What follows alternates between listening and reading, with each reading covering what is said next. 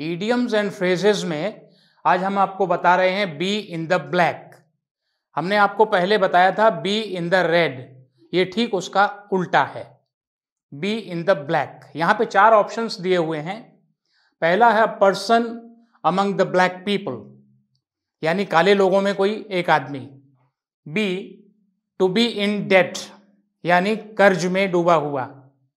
सी है to be in profit not in debt यानी लाभ में होना, कर्ज में नहीं। और डी है to put black colour on someone यानी किसी पर काला रंग डालना। तो अब इसमें से कौन सा ऑप्शन सही हो सकता है? हम देखते हैं दो sentences Ramesh was pleased to announce that his company is going to be in black ठीक है?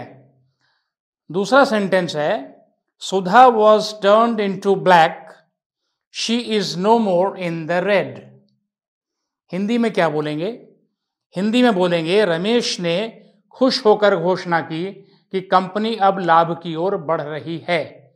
खुश होकर घोषणा की इसका मतलब अच्छी बात होगी? तो इसका अर्थ होता है कर्ज में नहीं या कर्ज खत्म करके लाभ में आना।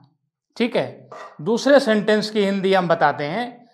सुधा, अब ब्लैक में आ गई है, यानी लाभ में आ गई है, और अब वो कर्ज में नहीं रही।